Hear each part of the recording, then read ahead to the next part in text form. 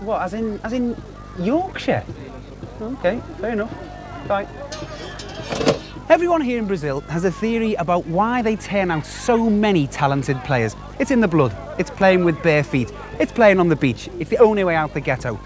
Well, there's a guy in Leeds, yes, Leeds, who reckons he knows the secret of their success. Hello, I'm Simon Clifford, the president of the UK Confederation of Futebol de Salao.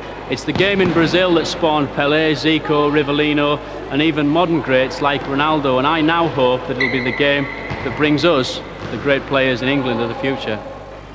The game is played on a, on a court pretty much like a basketball court, but you can't play off the walls as we do. The goal is a particular size, three metres by two.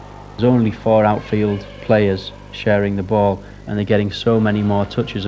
The big difference is the ball. It's a lot smaller than the average ball we'd use in England. It's only a size 2 compared to the 5 that we'd use here. It's got another important difference. As well as being filled with air, like a conventional football, it's also packed with foam, which results in this.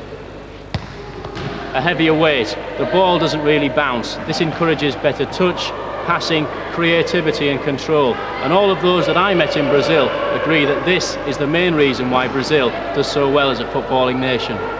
It's impossible to play bad football with this ball and the children develop such good habits. They learn techniques and skills. They learn to pass the ball in tight areas.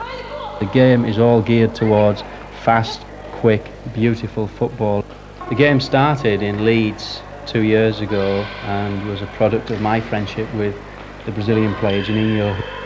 Most of the children tonight are from one housing estate and they have developed great technique and ability through this game. They weren't all tremendous footballers in the beginning, but through the skills that they've picked up through Futebol de Salao, they've all become very competent players. And we've had down here coaches from most of the Premier League team, national team coaches who've been down and been astounded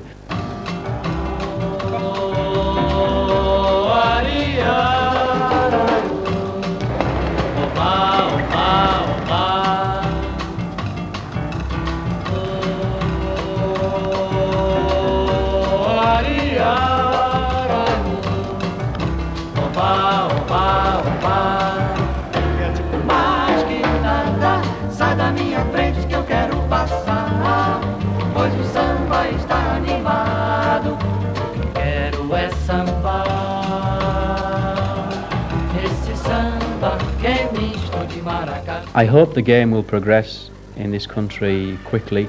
We're primarily aiming at children in the beginning through the Schools Confederation, trying to get as many schools as we can playing so that in five, ten years we could have players of the calibre of Ronaldo, Juninho, Romario with those type of skills playing in England. So who's going to win the World Cup? Brazil!